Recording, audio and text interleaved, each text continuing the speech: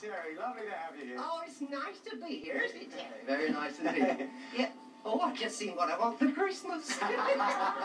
there you are, Ted. Oh, you're leaving that as the MacGuffin? That's right, it's a muffin. No, MacGuffin. Oh, sorry.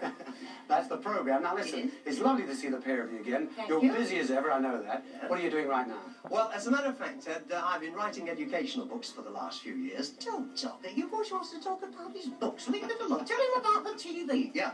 Well, we've been doing uh, we've been doing a series for Granada Television called Reading with Lenny. You see, uh, to teach the four to six year olds the beginnings of reading. You know, and Lenny's. I'm teaching Lenny in the program how to read. You see. Oh, really? I'm Is that right, Lenny? So well, Ted. Really? Well, well, give us an example of some of your reading. Really? Yes, you have a rhyme there, haven't you? Oh, a, a line or a liar? A rhyme. Oh, right, I see. Right.